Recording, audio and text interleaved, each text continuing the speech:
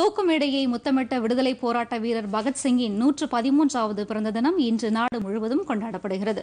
இதை முன்னிட்டு பிரதமர் நரேந்திர மோடி வெளியிட்டுள்ள டுவிட்டர் பதிவில் பாரத தாயின் வீர மகன் பகத்சிங்கின் பிறந்த நாளில் அவருக்கு மரியாதை செலுத்துவதாக கூறியுள்ளார்.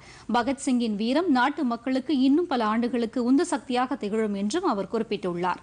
மத்திய உள்துறை அமைச்சர் அமித்ஷா விடுத்துள்ள டுவிட்டர் செய்தியில் இந்தியர்கள் அனைவருக்கும் எப்போதும் ஆதர்ஷ சக்தியாக பகத்சிங் திகழ்வார் என்று கூறியுள்ளார். இந்திய விடுதலை போராட்ட போராட்டத்திற்கு புதிய பாதையை காட்டியவர் பகத்சிங் என்றும் அவரது புரட்சிகரமான சிந்தனை மற்றும் உயரிய தியாகம் ஆகியவை விடுதலை போராட்டத்திற்கு புதிய வழியை காட்டியதுடன் நாட்டின் இளைஞர்களிடம் விடுதலை எழுச்சியை ஏற்படுத்தியதாகவும் தெரிவித்துள்ளார்.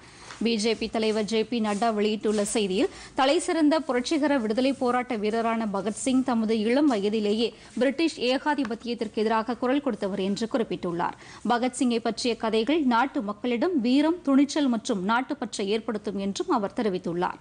மத்திய தகவல் ஒலிபரப்புத்துறை அமைச்சர் பிரகாஷ் ஜவடேகர் உள்ளிட்ட பல்வேறு தலைவர்களும் பகத்சிங்கின் பிறந்த நாளையொட்டி அவருக்கு மரியாதை செலுத்தியுள்ளனர். பொதிகை செய்திகளை யூடியூபில் தமிழ் நியூஸ் தூர்தர்ஷன் என்ற சேனலிலும் முகநூலில் டிடி பொதிகை நியூஸ் என்ற பக்கத்திலும் ட்விட்டரில் டிடி நியூஸ் சென்னை என்ற பக்கத்திலும் இன்ஸ்டாகிராமில் டிடி பொதிகை நியூஸ் என்ற பக்கத்திலும் காணலாம்.